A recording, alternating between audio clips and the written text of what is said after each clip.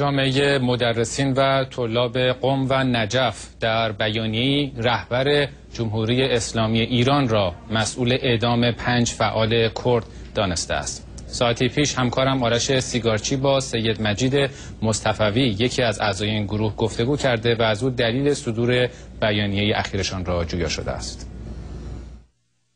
همیشه در طول تاریخ وظیفه حوزه و روحانیون واقعی موزگیری در برابر خلاف شر بوده. و ما همونطور که در ناممون نوشتیم بر حسب وظیفه برای امر به معروف و نهی از منکر و برای اتمام حجت که فردا روزی نسل آینده نیاد بگه صدای روحانیت کجا بود در مقابل این ظلم این بیانیه رو صادر کردیم. ببینید در مفاهیم اسلامی همیشه اومده که حرمت خون انسان حتی از کعبه هم بالاتره من قتل مؤمنن که من قتل الناس جمیعا. پس این خیلی مطلب مهمیه حرمت خون انسان. شما بیان انسانی رو اعدام بکنید به بهانه های واهی. حکومت میاد این هموطنان کرد ما رو اعدام می‌کنه. به جرم اینکه محاربن عذر می‌خوام. ببینید رسانه های حکومت ایران عنوان کردند که اینها محارب بودند. به نظر شما با توجه به اتهاماتی که مطرح شده این افراد محارب هستند؟ حالا همین من می‌خوام از نظر قرآن بگم که محارب که. مگه نمیگن حکومت اسلامیه؟ آقا محارب کسیه که با سلاح امنیت مردم رو به خطر بندازه و با سلاح دست به کشتار مردم بزنه. حالا شما ببینید مردم بشنون. مردم خودشون قضاوت بکنن. کی محاربه؟ مردمی که با مشتای گره کرده اومدن دارن میگن شعار میدن میگن رأی من کجاست محاربه؟ یا نه اونی که زور داره اونی که سلاح داره اونی که اسلحه داره اونی که داره بیت المال رو هزینه می‌کنه برای صرف این اعمال واهی اونی که